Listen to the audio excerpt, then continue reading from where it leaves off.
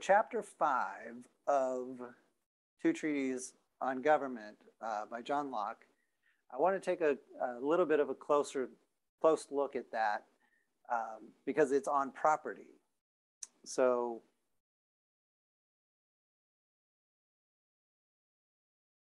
uh,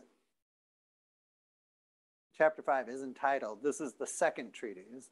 Chapter five is uh, of property and there's some interesting ideas that come up in here. So let's just uh, sort of highlight those at first, and then I want to read through chapter five, and I'll try to um, give some commentary that will build up some ideas that are very important for us. So um, just to remind myself, I want to go through this list. Uh, state of nature is a state of natural law. Okay, so we'll look for that. The labor theory of property. Uh, and when I say property, um, and when Locke talks about property, we're talking about real property, like real estate, like a real estate agent who sells a, a house. Um, that kind of property that we're thinking of. We're not thinking of, you know, uh, your favorite watch. And that's that's a personal possession. That, that's we're thinking about property like land, okay, land property. So this is coming out of feudalism, where wealth is um, conceived of as land property, and now here is where we have the ascending bourgeois uh, revolutionaries who are conducting a, a, kind of bourgeois revolution in parliament.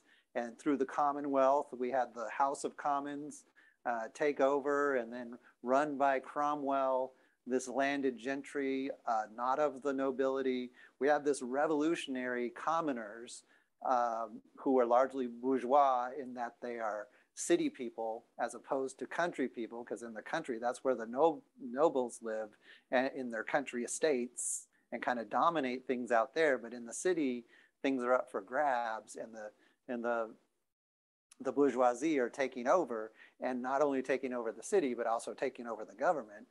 And here we have Locke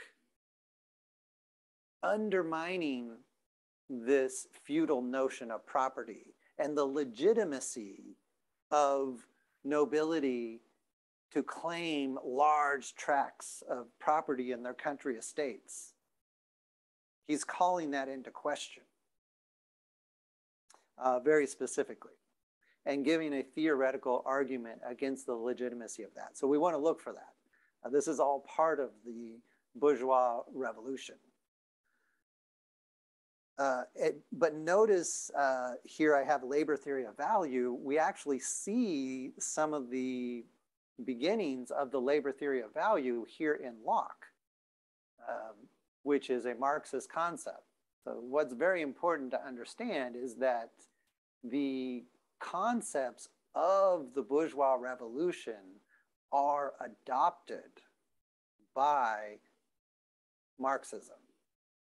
And the Marxist vision of the socialist revolution is not to throw away the bourgeois revolution and try to go back to some kind of feudalism.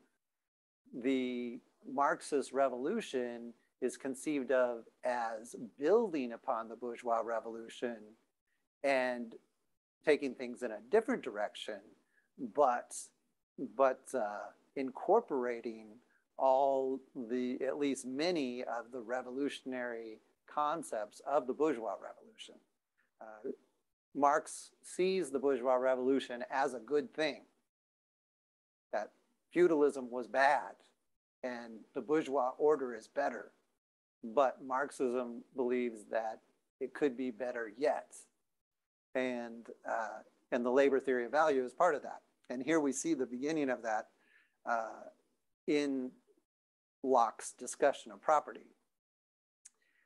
And we'll notice that he talks about appropriating commons as waste. So um, this all points to the problem of the enclosure of the commons, which was ongoing throughout this period, as we saw before, uh, that it was causing a lot of civil unrest. and uh, and then we'll also see him talk about the civilizing mission of colonialism, where he's justifying colonialism, uh, which we've seen uh, how how disastrous colonialism can be.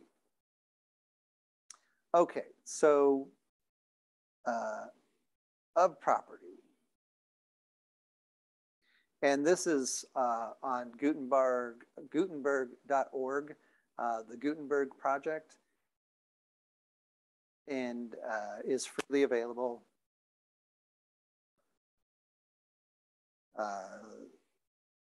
And Gutenberg in general is a good source of texts. a lot of philosophical texts uh, are readily available there.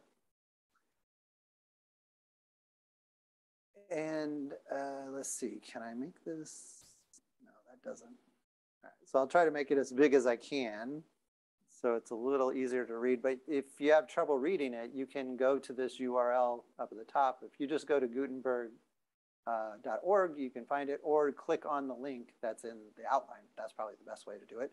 Um, but you might want to uh, have the page open for yourself so you can read it a little better because some of the you know, the, the quality deteriorates. So it can be a little blurry. Um, but I just want to show you where I'm at. And notice the sections are numbered. So it's quite easy to follow along because of the sectioning numbers. Okay, so section 25.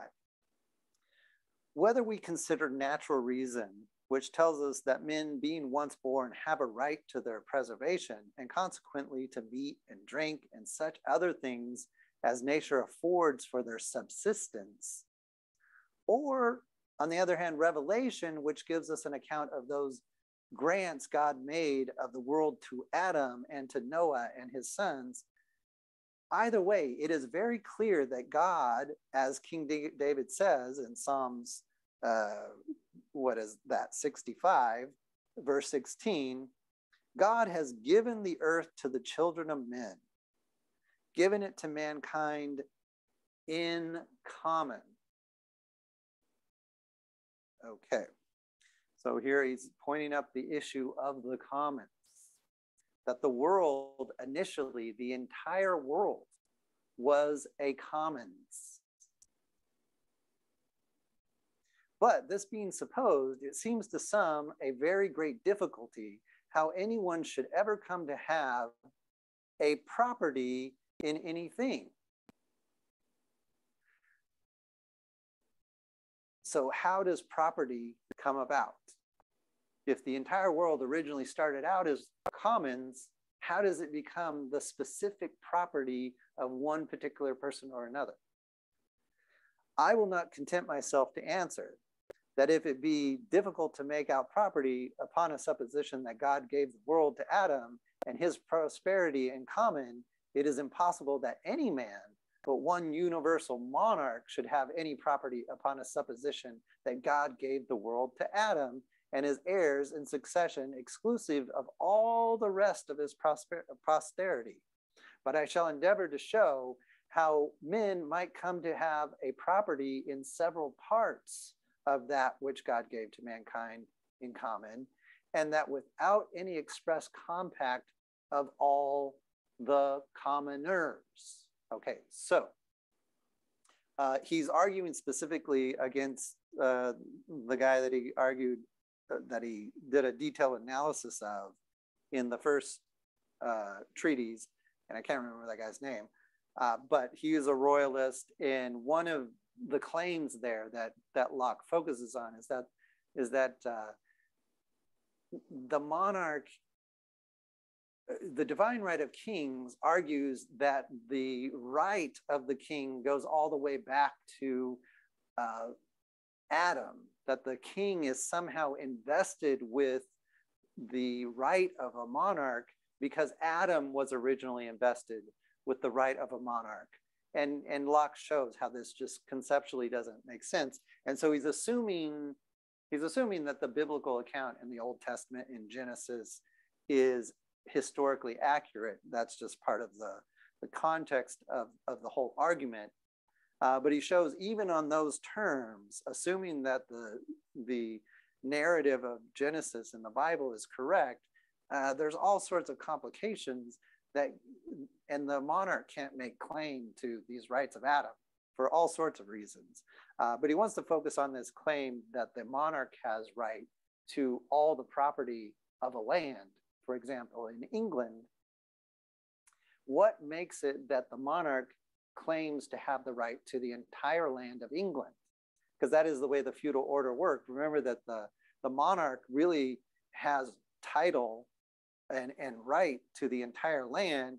And then through the, the agreements of vassalage, a, a particular vassal, a, a, a baron, a, a duke, uh, let's focus on a duke, would be given uh, title and responsibility for a particular parcel of land, but it nonetheless was still part of the title of the monarch. So you have this hierarchical structure, uh, you know, kind of along the lines of like Leibniz's monadology, but just in terms of land. Okay, so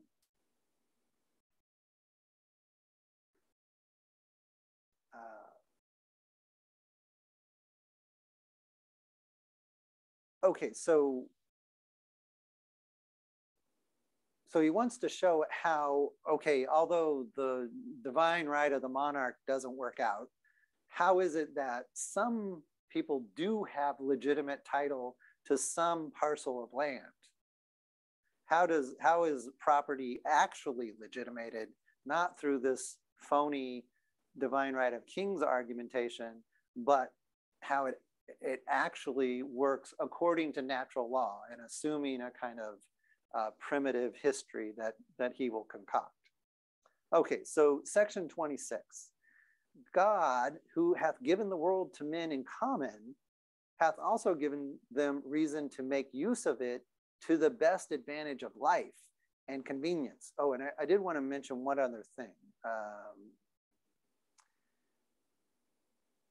that men, being once born, have a right to their preservation and consequently to meat and drink and such other things as nature affords for their subsistence. That people have a natural right to life, which means they have a natural right to adequate food and adequate housing and adequate uh, shelter from storms and, and the vicissitudes of, of nature that that's a natural right. Uh, that's something very much that Marx agrees with. Um, and, uh, you know, but Marx wants to go, to go a little farther. Uh, maybe I should just mention that here. Marx isn't saying that everyone has a natural right to just subsistence, but that to whatever degree working in common through variable labor, which is not only variable in terms of putting in more hours or, or, working harder, but also combining our efforts in social work through like the division of labor or just coming together to do a big project, whatever the entire social group is able to achieve in terms of uh, uh, uh, uh a rise in overall wealth of the community, that everyone should get a proportional share of that uh, in essentially an equal share in that uh, to the degree that makes sense. And um, uh, so Marx wants to go a little further than that. So there's a this isn't a kind of primitive Marxism or a primitive communism. The point that Locke is making is that everyone at bare minimum allows should be has the right to food and shelter, etc., that will keep them alive. That's just a bare minimum. Uh, and of course, we see that in our, our day, that right is not upheld. So if we have refugees showing up at our southern border from Mexico, but also from Honduras, Guatemala, El Salvador, fleeing um, death squads, we do not naturally give them sanctuary. Uh, Locke would see that as a problem. I mean, maybe politically he might have some mental gymnastics to get around it, but in, in, in principle, he'd have a problem with that. And and if we have uh, refugees showing up at the southern border from Afghanistan, for example, or or Syria, uh, these kind of places that people are fleeing from because they just simply cannot live there. Just literally, it's unlivable that uh, these refugees have the right to some minimal subsistence. And even people living within the United States, we have uh, we have millions of children that will go to sleep tonight hungry living in the United States because they are not afforded the basic human right of having adequate food. That's not part of our system. Um, and so this is an issue that's still alive and well today.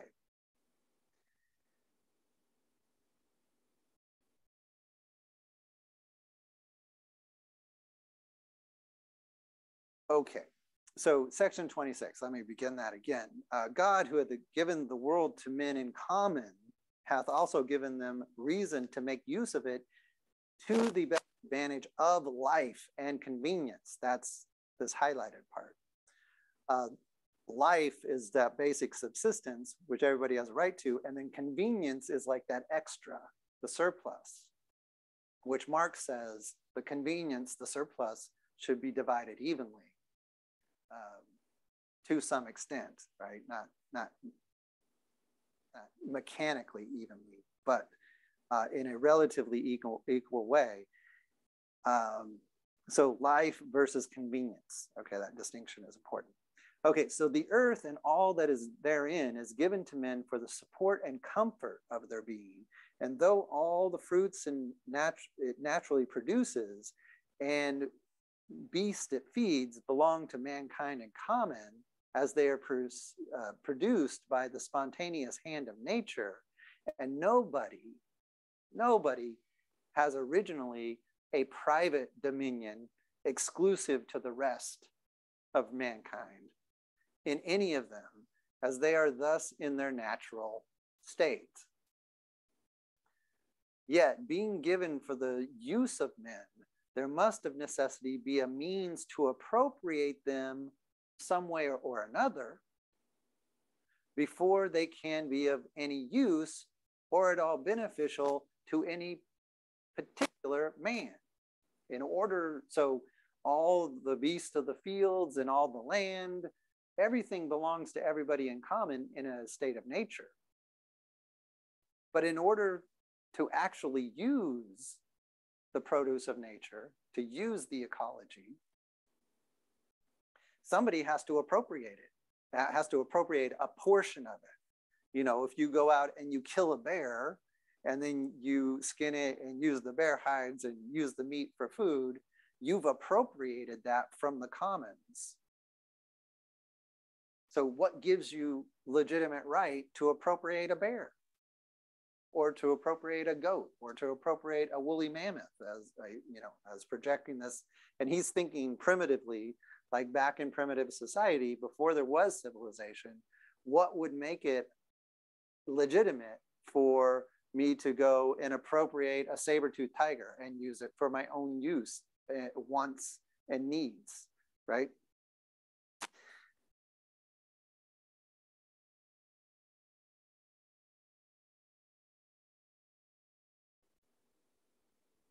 Yet, being given for the use of men, there must of necessity be a means of appro- to appropriate them some way or another before they can be used uh, or at all beneficial to any particular person. Okay.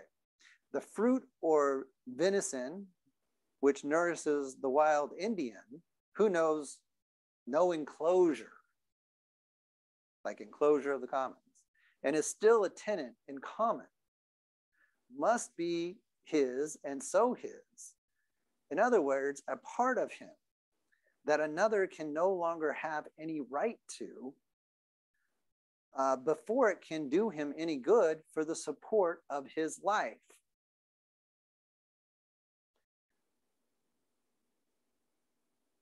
So he has to take it from the commons in order to use it for his life and his comfort. Section 27. Though the earth and all inferior creatures be common to all men, yet every man has a property in his own person. Okay, so now this is a key concept in Locke is that he thinks of the human body as being uh, property of the person. Property, like in the sense of when you take a particular piece of land and build a house on it, naturally your body is your own property, and uh, and uh, so we want to want to keep that in mind. The lingo here is kind of, you know, uh, not quite King James, but uh, a little bit uh, archaic. So I want to make sure that there's some clarity here uh, because of the archaic nature of the English. Um, so every man, every person has a property in their own person. This nobody has any right to but themselves. The labor of his body and the work of his hands, we may say, are properly his. So notice that word properly and property uh, have a common etymology in English, and that comes across nicely. Whatsoever then he removes out of the state of nature uh, hath provided and left it in, he hath mixed his labor with and joined to it something that is his own and therefore makes it his property.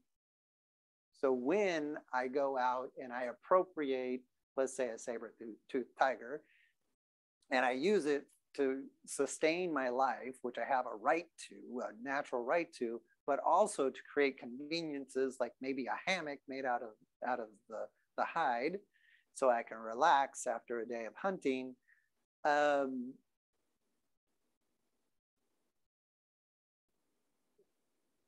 what what makes it properly mine and therefore my property is that I put in the labor of hunting the saber-tooth tiger and preparing the hide. My labor is invested in it, and my labor is naturally my property. Okay, so here we're getting the uh, labor theory of value, but conceived of in terms of property.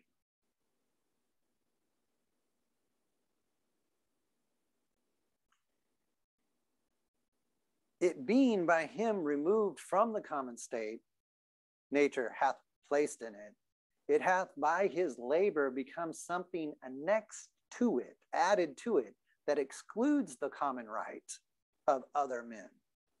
For this labor being the unquestionable property of the laborer, no man but he can have a right to what that is once joined to, at least where there is enough and as good left in common for others.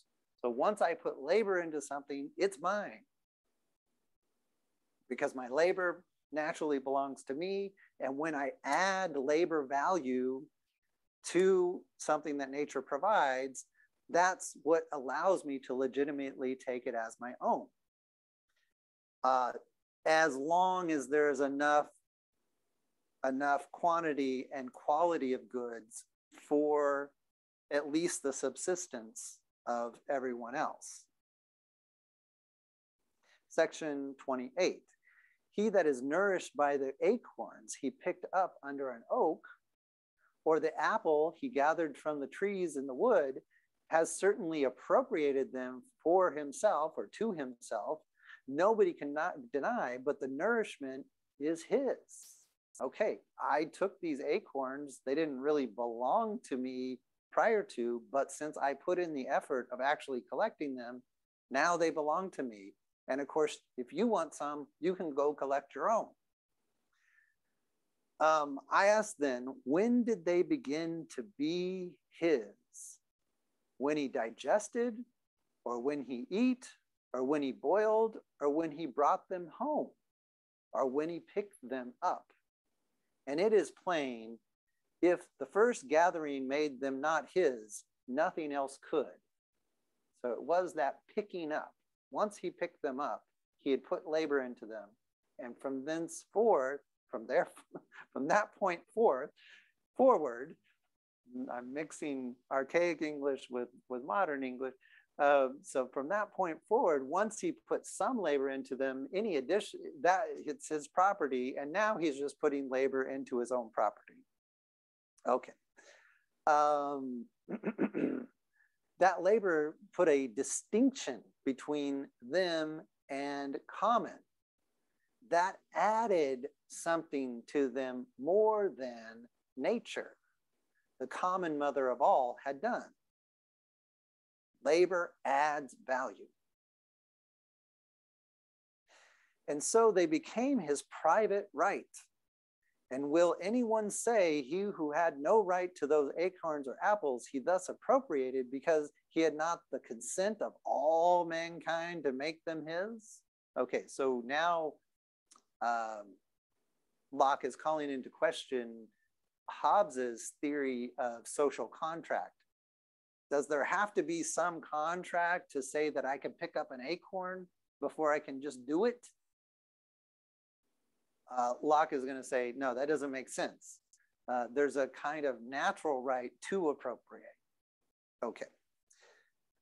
Was it a robbery thus to assume to himself what belonged to all in common?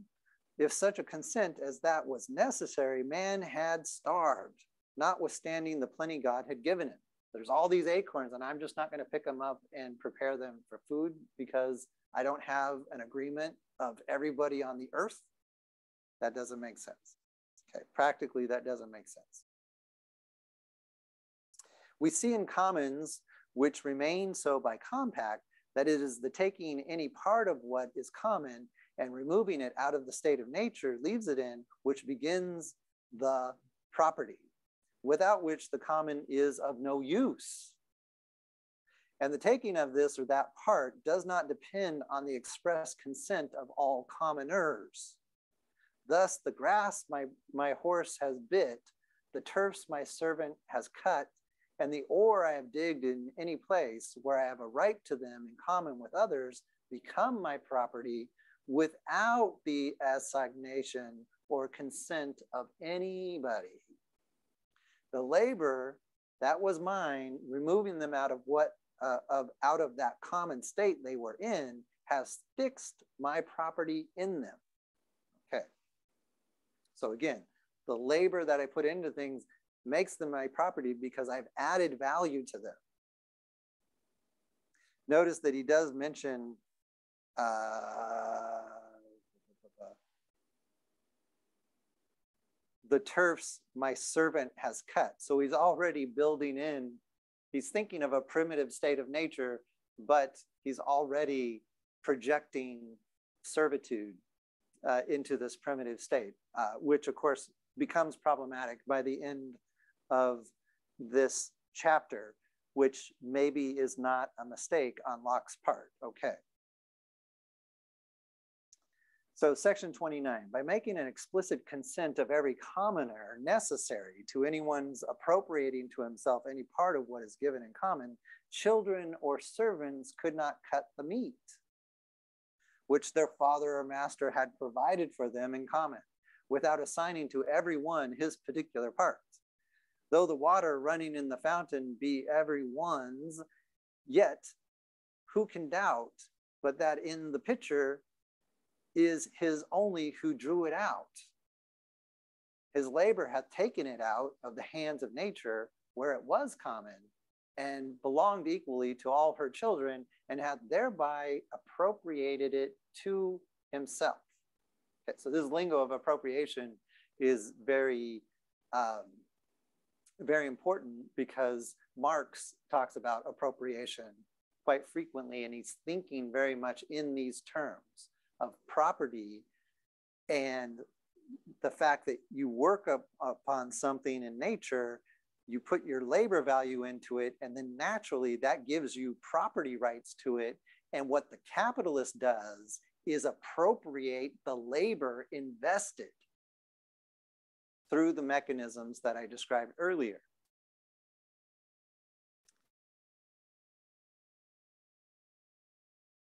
Okay.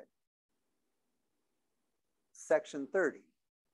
Thus, this law of reason makes the dealer in Indians who have, who have killed it, uh, it is allowed to be his goods who hath bestowed his labor upon it, though before it was the common right of everyone. And amongst those who are counted the civilized part of mankind, who have made the made and multiplied positive laws to determine property, this original law of nature for the beginning of property and what was before common still takes place. So whether it's an uncivilized, quote unquote, Indian, as he says, some uh, indigenous person who lives outside of civilization, as he's conceiving of it, um, you know, they appropriate things naturally in a state of, uh, at least a quasi state of nature.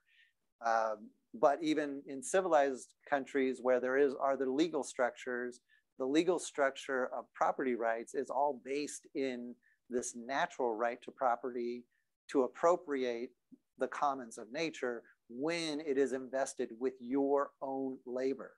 Okay.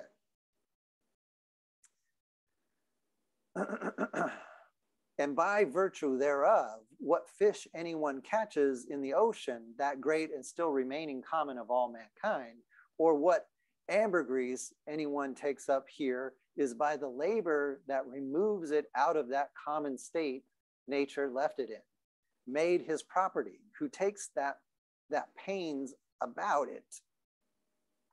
And even among amongst us, the hare that anyone is hunting, is thought his his who pursues her during the chase. So if you hunt a rabbit, whoever actually does the hunting, that makes it yours.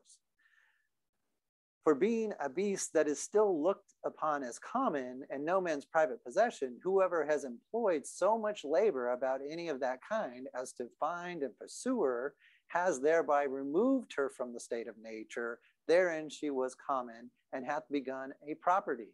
Okay, so this is also going back to uh, or, or, connected with Marx's ideas of species beings, that, that human beings naturally want to work on their environment and modify nature and appropriate certain parts of it to themselves. Uh, and that's just part of human nature. And, and then, of course, when we put in labor to do these things, then that's that's what makes it our property. Marx would have no disagreement uh, so far, uh, except for maybe that servitude thing, which you know seems like a poison pill, um, which will come out later. Okay, section 31. It will perhaps be objected to this that if gathering the acorns or other fruits of the earth, etc., makes it a right to them, then anyone may engross as much as he will. To which I answer, not so. So anybody could just gather all the acorns they they wanted to any extent, or gather apples to any extent, just stockpile apples. And he says, not so. No, the same law of nature that does by its this means give us property does also bound that property too. There's a limit. God has given us all things richly. First Timothy 6, chapter or verse 12, is the voice of reason confirmed by inspiration. But how far has he given it to us to enjoy as much as anyone can make use of to any advantage of life before it spoils? So much he may by his labor fix a property in. So you can't just stockpile apples if you're not going to eat them and just let them rot. That's that's not natural right. Whatever is beyond this, you know, actually using it before it spoils, whatever goes beyond this is more than his share and, be, and belongs to others. Nothing was made by God for man to spoil or destroy. Nothing was made by God for man to spoil or destroy.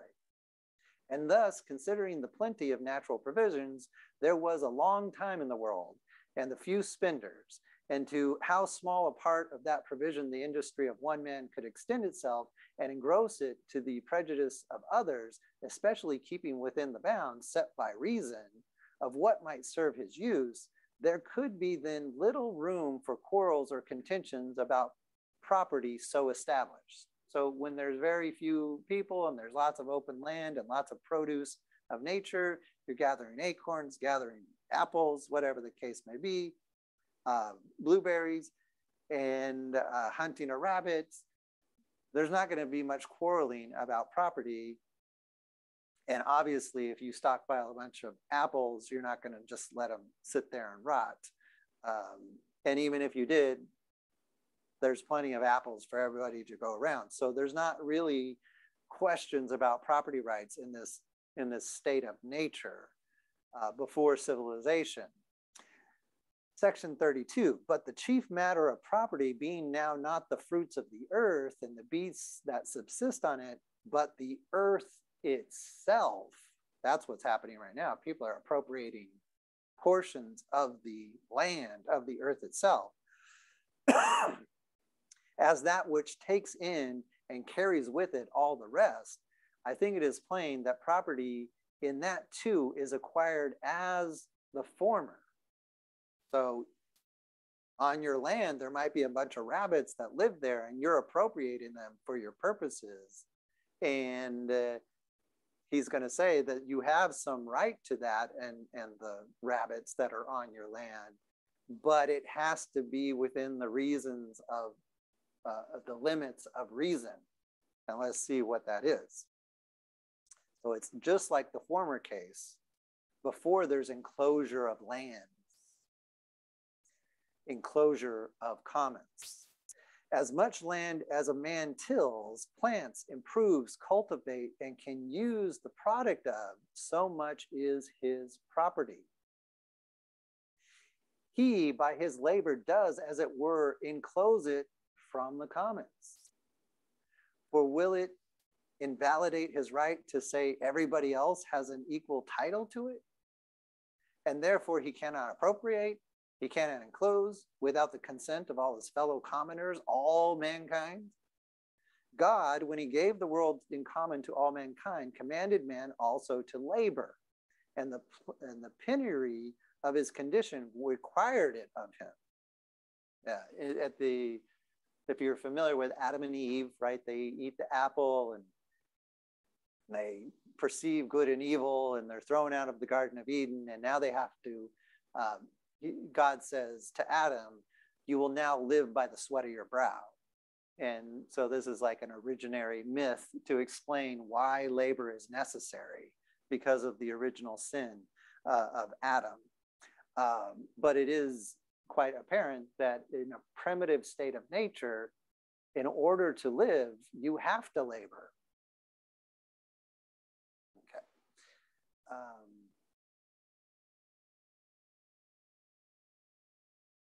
God and his reason commanded him to subdue the earth. This is also from the Adam and Eve story subdue the earth. In other words, to improve it for the benefit of life, and therein lay out something upon it that was his own, his labor. He hath, in obedience to this command of God, subdued, tilled, and sold any part of it, thereby annexed it to something that was his property. The now he's thinking of the land as being annexed or conjoined to the labor, and the labor naturally belongs to the person which another had no title to, nor could without injury take from him. Notice that he does say here, and this may not be very clear with the archaic English and the grammatical construction, but what he's saying that it is not uh, lawful according to natural right for someone to take the labor of somebody else. It's not lawful it's not right in a natural state of things, natural right. There is no natural right to appropriate the labor of other people. Marx would agree. And Marx is saying that's exactly what the capitalist does. The capitalist appropriates the labor of other people. That's what's wrong with capitalism. Okay, so section 33. Nor was this appropriation of any parcel of land by improving it any prejudice to any other man, since there was still enough and as good left. So there's plenty of quantity and quality of land. So uh, whatever I appropriate, you can appropriate as much as you want. It's, it's, there's plenty. And more than the yet unprovided could use. Okay, so there's plenty, more than anybody can use. So that in effect, there was nevertheless left for others because of his enclosure for himself. For he that leaves as much as another can make use of does as good as taking nothing at all. Nobody could think himself injured by drinking from another, uh, drinking of an, by the drinking of another man, though he took a good draft. Like if you're at a river and somebody's drinking, they're full, you can't hold that against them because you could do the same. There's plenty. A whole, who had a whole river of the same water left to him to quench his thirst. And the case of land uh, and water, where there is enough of both, is perfectly the same. Uh, and notice that in the case uh, of uh, land and water, where there is enough of both, this is interesting from today's perspective in, in 2021 um, we're beginning to think, uh, well, of course, land, even in, in Locke's day, like in England, all the land was parceled out um, and enclosed, at least almost all of it. Um, but water is just seen as something that's a product of nature and that nobody would parcel out water and enclose water, that that's not a thing. Uh, but today, there is enclosure of water. People are buying up water rights. I, through my 401k, have some indirect uh, property in water someplace on the other side of the earth. Uh, you know, this is a thing now, but something that Locke conceives of as impossible. Section 34. God gave the world to men in common, but since he gave it to them for their benefit and the greatest conveniences of life they were capable to draw from it, it cannot be supposed he meant it should always remain common and uncultivated. He gave it to the use of the industrious and rational, and labor was to be uh, to be his title to it. So that's how you get title to land, so that you put labor into it, not to the fancy or covetousness of the quarrelsome and contentious, right? Not because of legal wranglings, because, but because of the labor you put into it that you get property. He that had as good left for his improvement as was already taken up needed not complain uh, ought not to meddle with what was already improved by another man's labor. If he did, it is plain he desired the benefit of another man's pain, of another man's labor, which he had no right to, and not the ground which God had given him in common with others to labor on, and whereof there was as good left, and that already possessed, and more than he knew what to do with, or his industry could reach to. Okay. So he's repeating himself quite a bit here. Let's not go into this. Section 35. It is true, in land that is in common in England or any other country where there is plenty of people under government who have money and commerce, no one can enclose or appropriate any part without the consent of all his fellow commoners. Okay, so in the civilization of England, common property cannot be enclosed unless there is consent, because this is left common by compact, by agreement. In other, way, in other words, by the law of the land, which is not to be violated. And though it be common in respect of some men, it is not so to all mankind, but is the joint property of this country or this parish. Besides, the remainder after such enclosure would not be as good to the rest of the commoners, as the whole was when they could all make use of the whole. Whereas in the beginning and first peopling of the great common of the world, it was quite otherwise. The law man was under was rather uh, for appropriating. God commanded, and his wants forced him to labor. That is, man, humans once forced them to labor. That was his property, which could not be taken from him wherever he had fixed it. And hence, subduing or cultivating the earth and having dominion, we see are joining together. The one gave title to the other, so that God, by commanding to subdue, gave authority so far to appropriate. And the condition of human life, which requires labor and materials to work on, raw materials, necessarily introduces private possessions. Okay, very good. And Marx would agree. Let's be clear about that. Marx is not against private property. He's against the appropriation of capitalists of other people's labor, and especially the appropriation of the means of production and the means of industrial production the factory. That's what Marx wants to be returned to commons, not your pocket watch, not your iPhone, not your favorite shirt, not your car, not your house. None of that. What is to be common in communism is the factory in this Marx, you know, thinking in Marx's time. Now, how that applies to modern day life when we don't work in a factory, that's another question. But when we talk about communism and Marxism and having property in common, that doesn't mean every personal possession. We're talking about the factory. We're talking about the means of production, whatever that is, which might mean uh, Facebook, for example if Facebook is part of the means of production, then it should be held in common by those who labor uh, to produce the, the value uh, of Facebook. Like that might be one way of taking this, something to think about. Private possessions, as Locke has described, are no problem within Marxism. Okay, section 36.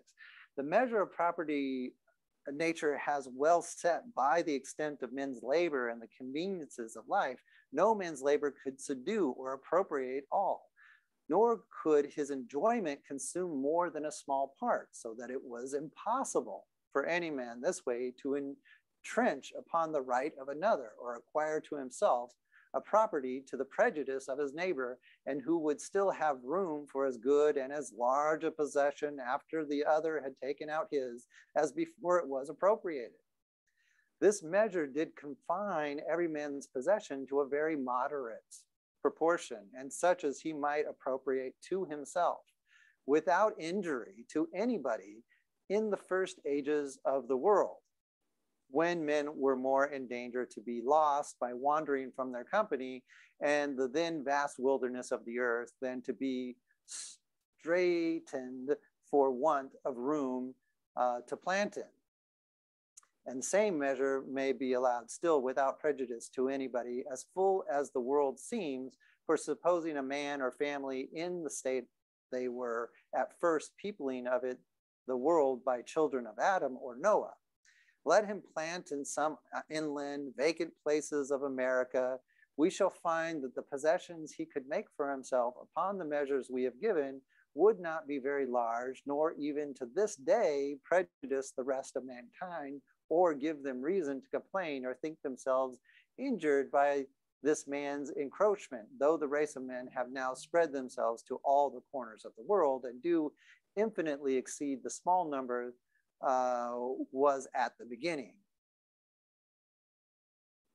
Okay, notice that he mentions America, the places of America, and he's just saying there's so much open land there, you know, appropriate, there's no problem because there's left over.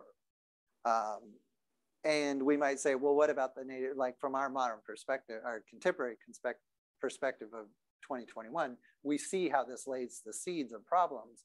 But even to the Native Americans, in many instances, they're like, yeah, go and plant your fields over there. That's fine. That doesn't mean you can kick us around all over the countryside and push us to the other side of the continent. We were just saying that you could use an appropriate portion.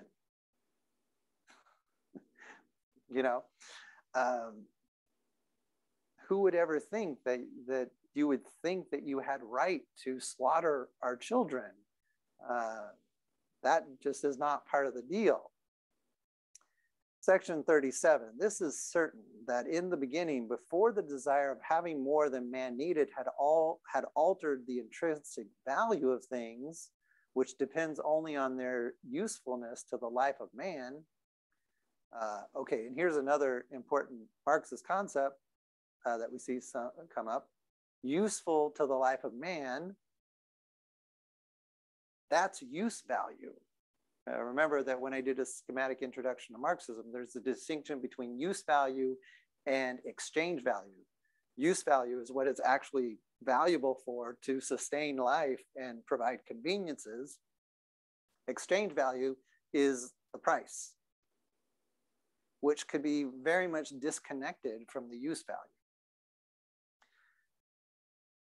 Uh, or had agreed that a little piece of yellow metal which would keep without wasting or decay should be worth a great piece of flesh or a whole heap of corn. And so he, Locke here juxtaposes use value versus exchange value. That little lump of gold is, is gold. And, um, and that's the basic concept of money. Uh, in German, which uh, Marx was German and natively spoke German, uh, money is Geld money is the word for gold and the word for money are the same. Um,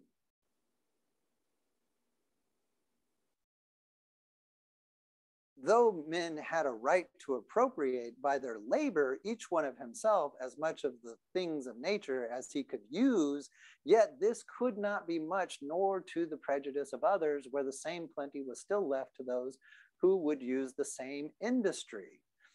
To which let me add that he who appropriates land to himself by his labor does not lessen, but increase the common stock of mankind.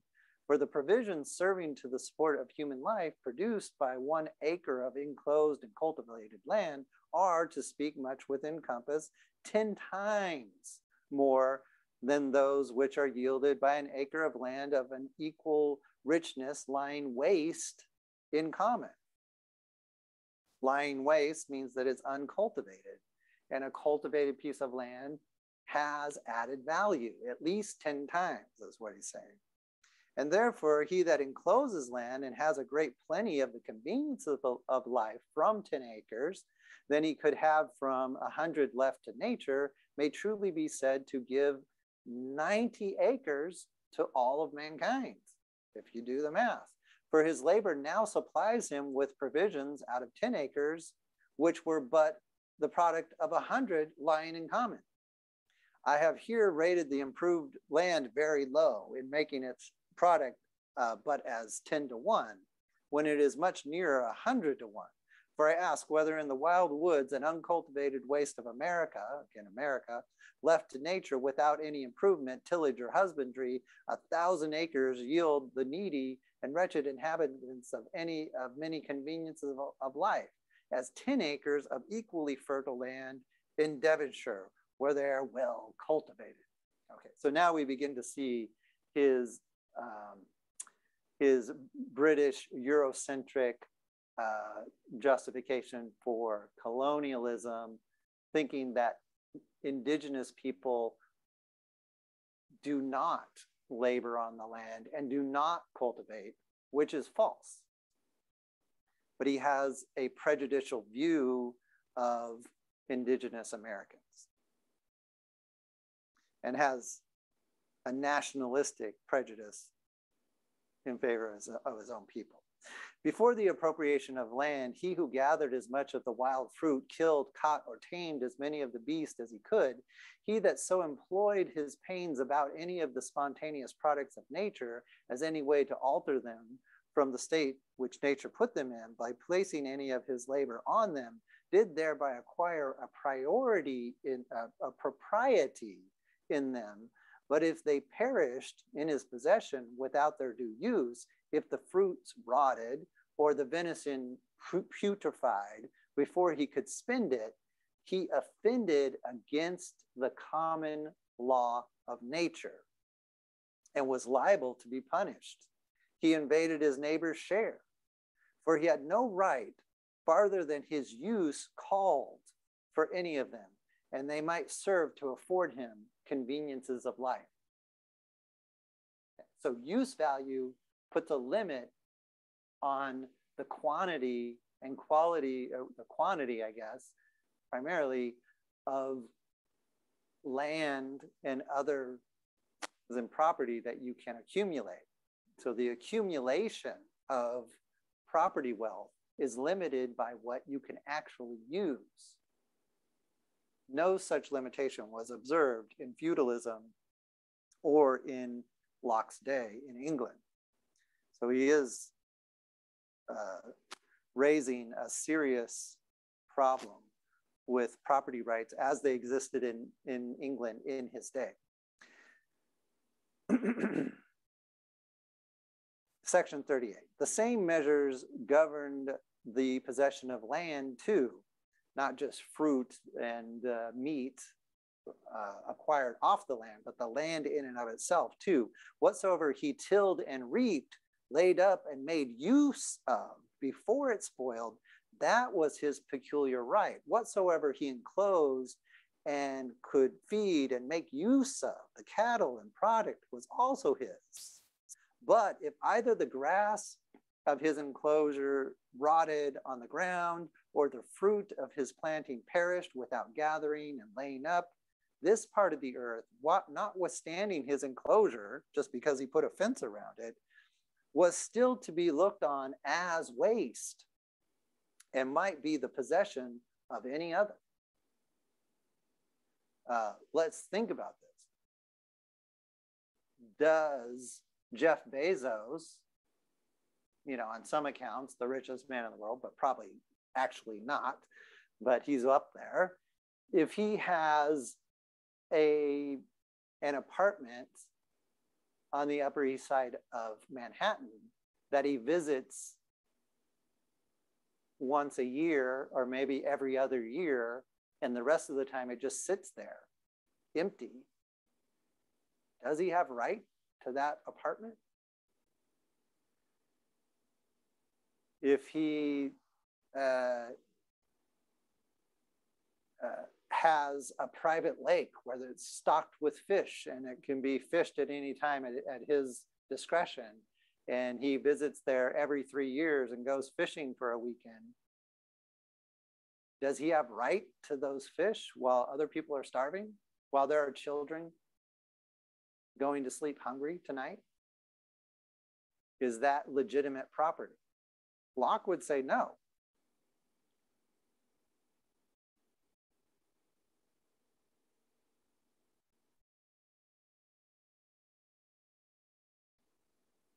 Thus, at the beginning, Cain might be might take as much ground as he could till and make it his own, and yet leave enough to Abel's sheep to feed on. A few acres would serve for both their possessions. After Adam and Eve, the first children are Cain and Abel. And so there's only four people in the world. So Cain can have can till as much land as he wants. Abel can it still has plenty of left over for his sheep. Um, they have the whole world. But as families increased and industry enlarged their stocks, their possessions enlarged with the need of them. But yet it was commonly without any fixed property in the ground they made use of, till they incorporated, settled themselves together, and built cities. And then by consent, they came in time to set out the bounds of their distinct territories and agree on limits between them and their neighbors. And by laws within themselves, settled the property of those of the same society. For we see that in that part of the world which was first inhabited and therefore like to be uh, like to be best peopled, even as low down as Abraham's time, they wandered with their flocks and their herds, which was their substance. They fr- uh, freely up and down, and this Abraham did in a country where he was a stranger. Whence it is plain that at least a great part of the land lay in common, that the inhabitants valued it not, nor claimed property in any more than they made use of. But when there was not room enough in the same place for their herds to feed together, they, by consent, as Abraham and Lot actually do in the Bible, separated and enlarged their pasture where it best liked them. And for the same reason, Esau went from his father and his brother and planted in Mount Seir. Also, a, a story from the Bible.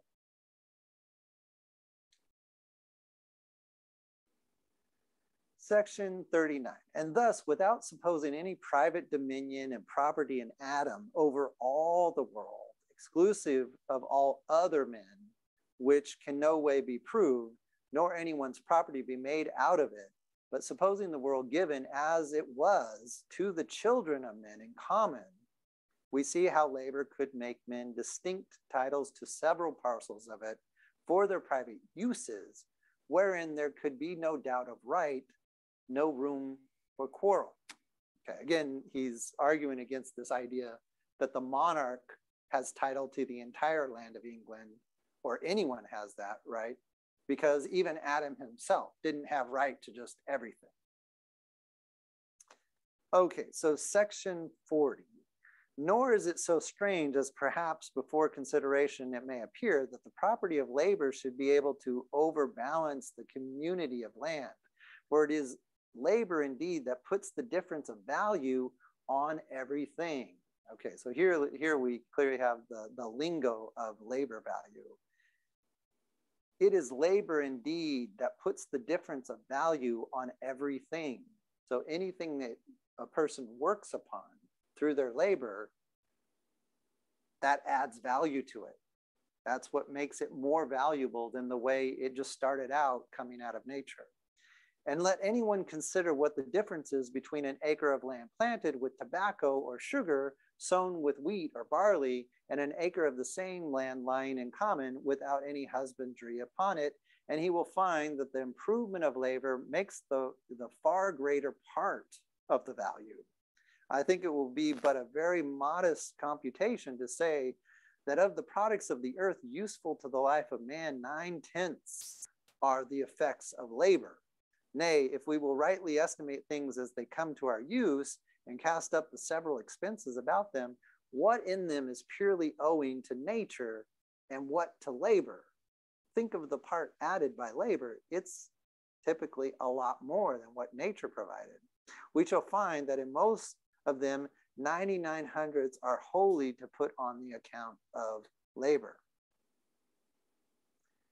Um, you know, you think of, of wheat, okay, you could think of wheat growing naturally, but you have to collect it and you have to grind it and you have to bake it into bread. You don't just get bread from wheat. Uh, wheat is not bread.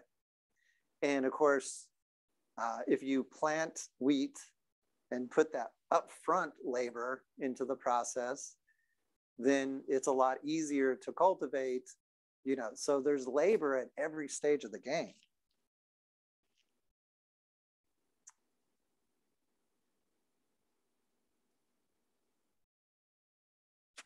Okay section 41 there cannot be a clearer demonstration of anything than several nations of the americans are of this who are rich in land and poor in all the comforts of life whom nature have furnished as liberally as any other people with the materials of plenty. In other words, a fruitful soil apt to produce in, a, produce in abundance uh, what might serve for food, raiment, and delight, yet for want of improving it by labor, have not one hundredth part of the conveniences we enjoy.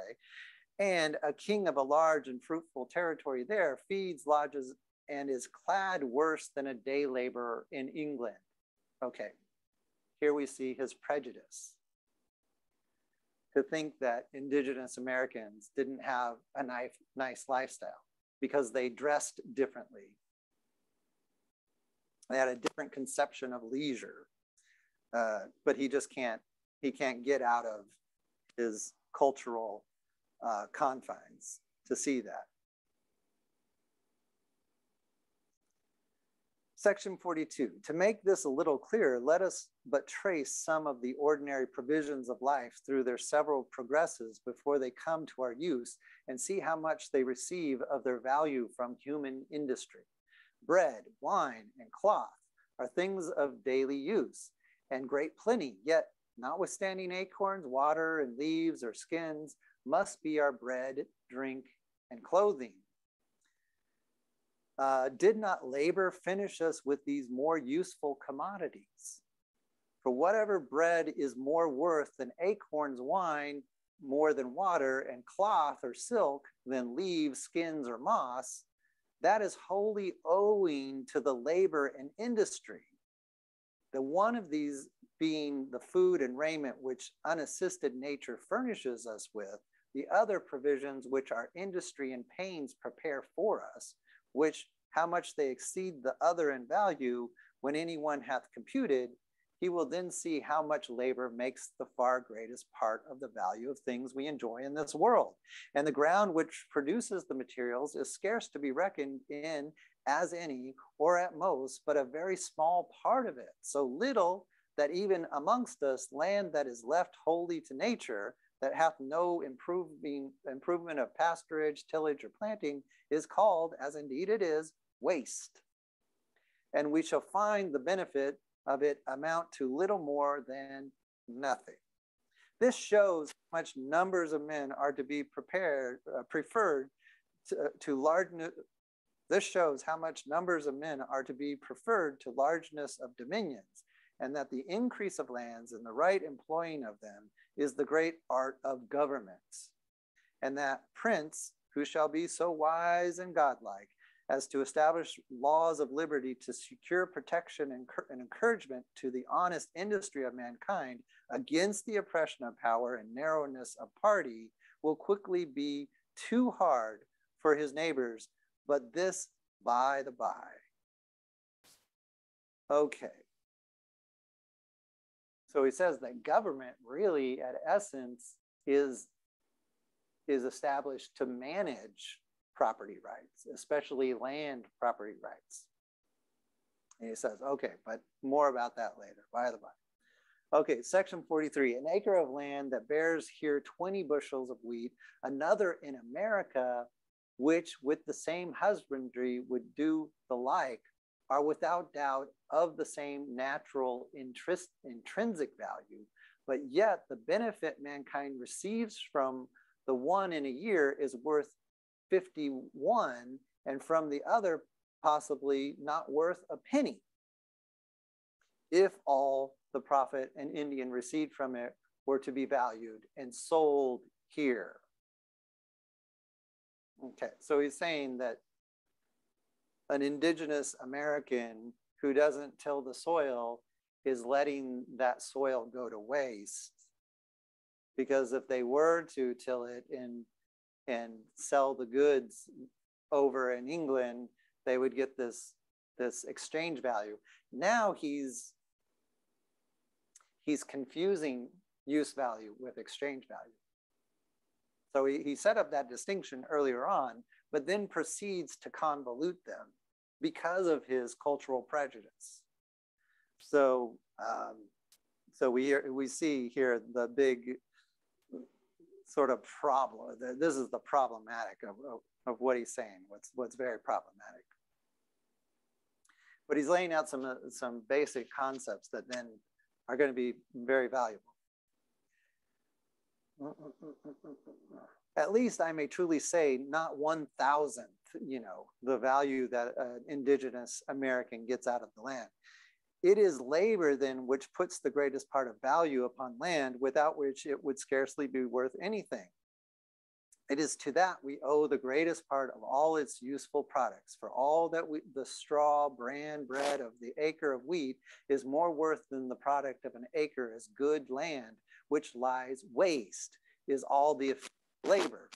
Not barley, the plowman's pains, the reapers and threshers' toil, and the baker's sweat is to be counted into the bread we eat. The labor of those who broke the oxen, who digged the rot, uh, digged and wrought the iron and stones, who felled and framed the timber employed about the plow, mill, oven, or any other utensil, which are a vast number, requisite to this corn, this, this uh, grain, from its uh, being feed to be sown uh, to its being made bread, must all be charged on the account of labor and receive as an effect of that nature and the earth furnished only the almost worthless materials as in themselves. It would be a strange catalog of things that industry provided and made use of about every loaf of bread before it came to our use if we could trace them. Iron, wood, leather, bark, timber, stone, bricks, coals, lime, cloth, dyeing dr drugs, pitch, uh, tar, masts, ropes, and all the materials made use of in the ship that brought any of the commodities made use of by any of the workmen to any part of the work, all which it would be almost impossible, at least too long, to reckon up. So again, there's just all this value because of all the complexities of market exchange that is built into even a piece of bread. Okay. Um, but notice that he does say here that he speaks of almost worthless, worthless materials as in themselves. Not only is there a prejudice against the labor of indigenous Americans that they don't labor, like he just has this idea that indigenous Americans are not laboring, which is false at his time. He also thinks of the natural products of nature as being utterly worthless. And this is problematic from the perspective of our ecological cataclysm. This is some of the roots of the ecological cataclysm that Europeans um, are prejudiced into thinking that nature in its natural state is worthless. Uh, but this is a very short sighted, ethnocentric uh, wrong-headed, uh, false view. And we're seeing the consequences of that now in our own lives. Section 44, from all which it is evident that though the time the things of nature are given in common, yet man, by being master of himself and proprietor of his own person and the actions of labor of it, had still in himself the greatest foundation of property, and that which made up the great part of what he applied to the support or comfort of his being, when invention and arts had improved the convenience of life, was perfectly his own and did not belong in common to others. Section 45. Thus, labor in the beginning gave a right to property wherever anyone was pleased to employ it upon what was common, which remained a long while the far greater part, and is yet more than mankind makes use of. Men at first, for the most part, contented themselves with what unassisted nature offered to their necessities. And though afterwards, in some parts of the world where the increase of people and stock with the use of money had made land scarce and so of some value, the several commodities settled the bounds of their distinct territories. Uh, the several communities settled the bounds of their distinct territories and by laws within themselves regulated the properties of the private men of their society. And so by compact and agreement settled the property which labor and industry began. And the leagues that have, have been made between several states and kingdoms, either expressly or tacitly, disowning all claim and right to the land in the other's possession, have by common consent given up their pretenses to their natural common right which originally they had to those countries, and so have, by positive agreement, settled the property amongst themselves in distinct parts and parcels of the earth. Yet there are still great tracts of ground to be found, which the inhabitants thereof, not having joined with the rest of mankind in the consent of the use of their common money, lie waste and are more than the people who dwell on it to do or can make use of. And so still lie in common, though this can scarce happen amongst that part of mankind that have consented to the use of money. So now he's giving an argument. Here we see it's he's kind of been laying it in little by little, but here we see his argument for settler colonialism and the appropriation of the land of indigenous Americans, that they're just letting it go to waste. And so we can take it by right.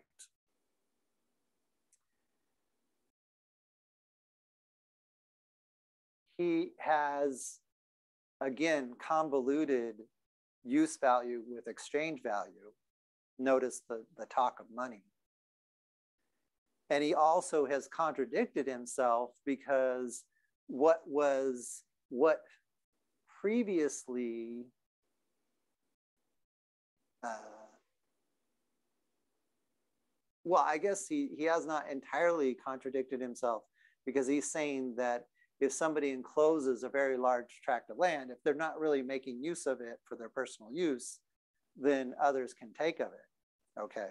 And he's comparing the indigenous Americans to that. Uh, but for example, he's not thinking of, uh, of like the tribes of the Great Plains who use large tracts of land at this time to hunt buffalo.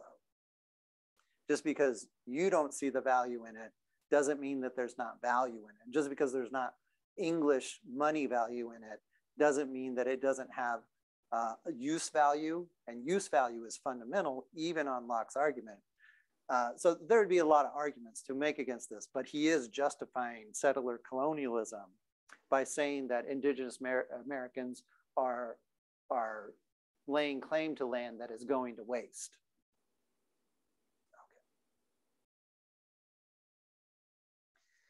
Section 46, the greatest part of things really useful to life, to the life of man, and such as the necessity of subsisting made the first commoners of the word, world look after, as it doth the Americans now, are generally things of short duration, such as, if they are not consumed by use, will decay and perish of themselves. Gold, silver, and diamonds are things that fancy or agreement have put the value on more than real use, and the necessary support of life.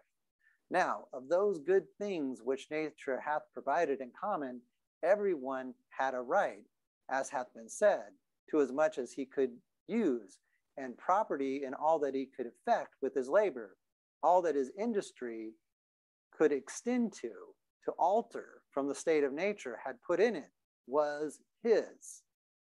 He hath gathered a hundred bushels of acorns or apples, had thereby a property in them. They were his goods as soon as gathered. He was only to look that he used them before they spoiled, else he took more than his share and robbed others. And indeed, it was a foolish thing as well as dishonest to hoard up more than he could make use of. If he gave away a part to anybody else so that it perished not uselessly in his possession, these he also made use of. And if he also bartered away plums that would have rotted in a week for nuts that would last good for his eating a whole year, he did no injury. He wasted not the common stock, destroyed no part of the portion of goods that belonged to others. So long as nothing perished uselessly, uselessly in his hands, again, if he would give his nuts for a piece of meat, pleased with its color, or exchange his sheep for shells or wool or a sparkling pebble or a diamond and keep those by him all his life, he invaded not the right of others. He might heap up as much of those durable things as he pleased. The exceeding of the bounds of his just property not lying in the largeness of his possession, but the perishing of anything uselessly in it. Okay. So I think this, I, I think now after reading this paragraph, I can make a little bit of better argument against what he's saying about settler colonialism. And thinking of the Native Americans of the Great Plains, uh, uh, what the settler colonialists did is came in and destroyed all the buffalo and just wasted it. And so he's justifying a genocide and wasting not only buffalo, but just committing a genocide against people. There can be no justification for that on the basis of his property arguments. Um, he just, because of his cultural prejudice, just could not foresee the ruthlessness with which settler colonialism was actually already taking place. If he if he cared, he could have looked it up. He could have read uh, Bartolome de las Casas, for example. Plain and simple. He could look in the English newspapers to find out about the slave trade happening in Jamestown, where obviously the tilling of tobacco, which he mentions, is being conducted by the appropriation directly of other people's labor. Uh, but he just carefully avoids details that are inconvenient. Okay, so section 47, and thus came in the use of money, some lasting thing that men might keep without spoiling. Okay, and here we see money as the universal commodity, as Marx talks about, and being in the form of gold that does not uh, rust and, and you can store it over long periods of time.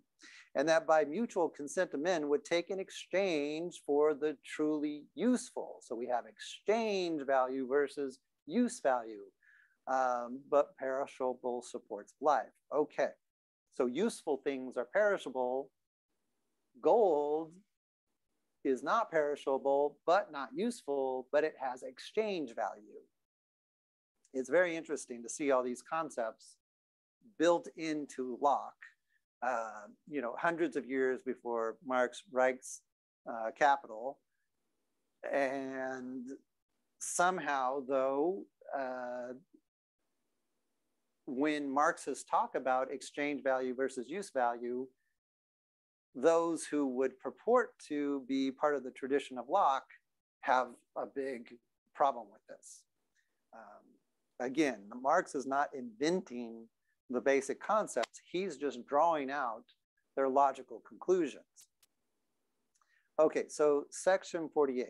And as different degrees of industry were apt to give men possessions in different proportions, so this invention of money gave them the opportunity to continue and enlarge them. For supposing an island separate from all possible commerce with the rest of the world, wherein there were but an hundred families, but there were sheep, horses, and cows, with other useful animals, wholesome fruits, and land enough for corn for a hundred thousand times as many, but nothing in the island, either because of its commonness or perishableness, fit to supply the place of money, what reason could anyone have there to enlarge his possessions beyond the use of his family and plentiful supply to his consumption, either in what their own industry produced or they could barter for like perishable, useful commodities with others?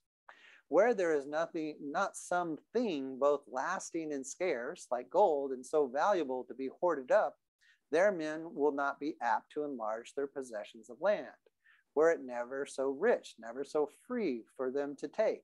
For I ask, what would a man value 10,000 or 100,000 acres of excellent land, ready cultivated and well stocked, stocked too with cattle in the middle of the inland parts of America, where he had no hopes of commerce with other parts of the world to draw money to him by the sale of the product? It would not be worth the enclosing and we should see him give up again to the wild common of nature whatever was more than would supply the conveniences of life to be had there for him and his family.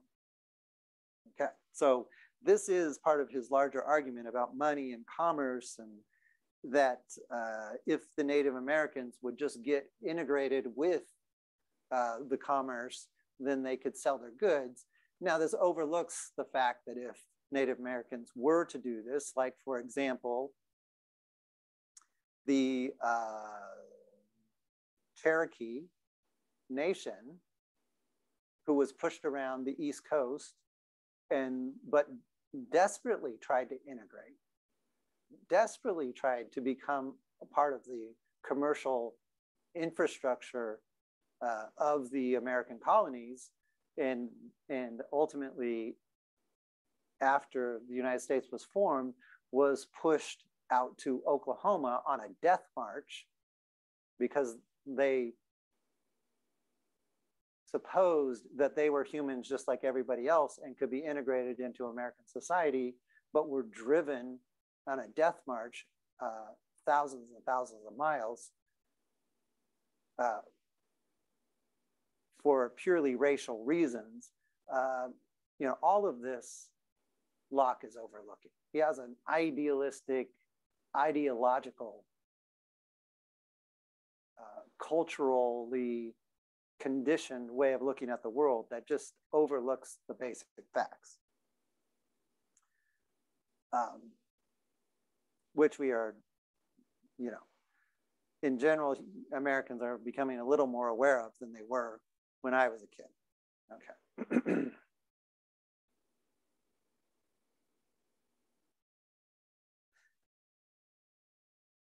Section 49. Thus, in the beginning, all the world was America, and more so than it is now, for no such thing as money was anywhere known. Find out something that had the use and value of money amongst his neighbors, you shall see the same man will begin presently to enlarge his possessions. Okay. But since gold and silver, being little useful to the life of man in proportion of food, raiment, and carriage, has its value only from the consent of men, whereof labor yet makes in great part the measure, it is plain that men have agreed to a disproportionate and unequal possession of the earth. Uh, he says that men have agreed to the disproportionate and unequal possession of the earth. They have, by a tacit and voluntary consent, found out a way how a man may fairly possess more land than he himself can use the product of. By receiving in exchange for the overplus gold and silver, which may be hoarded up without injury to anyone. These metals not spoiling or decaying in the hands of the possessor, this partage of things and an inequality of private possessions, men have made practicable out of the bounds of society and without compact only by putting a value on gold and silver and tacitly agreeing to the use of money. For in governments, the laws regulate the right of property and the possession of land is determined by positive constitutions.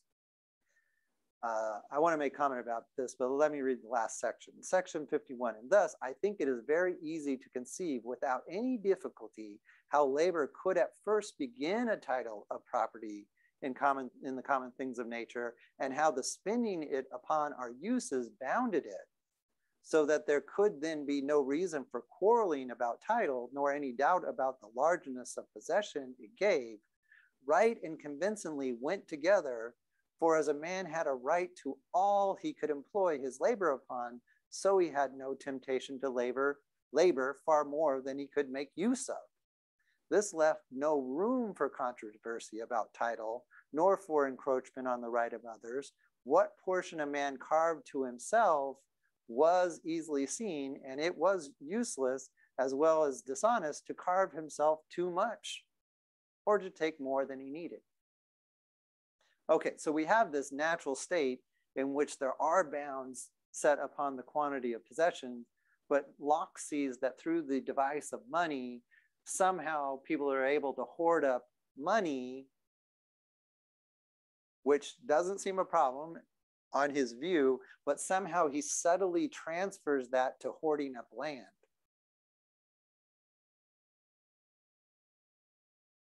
And says that by the device of money, people have agreed to allow people to hoard up and spoil and waste lands in England because of the device of money, but because the Native Americans don't have money, they can't enclose large tracts of land and let them go waste. There, there's a disconnect here. And to unpack that, uh, maybe uh, I haven't quite successfully done that, but hopefully you can see that there is a disconnect. And I'll have to think about saying that, that more succinctly and giving a better analysis. But there's certainly a problem here because he's not merely talking about stacking up gold, which on his argument, he, he does make an argument saying gold you can stack up because nobody can eat gold. But what he's somehow subtly overlooking and, and maybe just uh, begging the question, I think is what he's doing,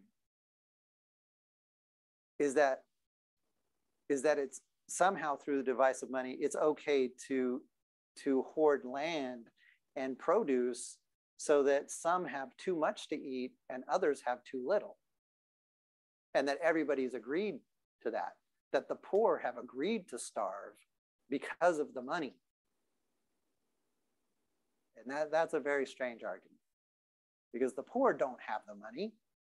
If those who want to have too much to eat, you know, the rich and fancy who throw away pounds and pounds of food while others go hungry, or who elaborate all these cooking methodologies and have their personal chef and and, and spend all this to uh, make themselves uh, you know, have more food than they can eat and then go in the bathroom and throw it up, you know, as, as many wealthy people do. Um, that somehow they have the right to waste things in that way because of money, but then we would think that the money would have to be in the hands of the people who don't have the food. But it just so happens that the people who have all the food and are wasting the food are the people that have all the money. So there was no exchange. So there's a problem here. Um, again, the, the prejudice of Locke is, is unbearable. All right, I'll leave it at that. But, well, one more thing. But these concepts of labor value, use value, exchange value, you know, we can we can get on board with that. But the idea that magically somehow people hoarding up money allows them to waste food while others are starving, that doesn't fly. That doesn't fit with his argument. He hasn't made that argument. He just throws it in